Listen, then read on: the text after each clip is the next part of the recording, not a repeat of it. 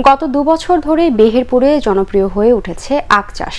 কম বিনিয়োগে বেশি লাভ হওয়ায় স্থানীয় কৃষকদের পাশাপাশি আখ চাষে ঝুঁকছেন এলাকার বেকার যুবকরাও।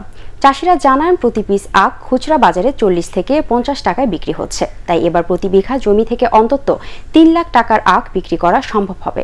এর মাধ্যমে বেকার যুবকদের কর্মসংস্থানের সুযোগ বাড়ছে বলে মনে করছেন সংশ্লিষ্টরা।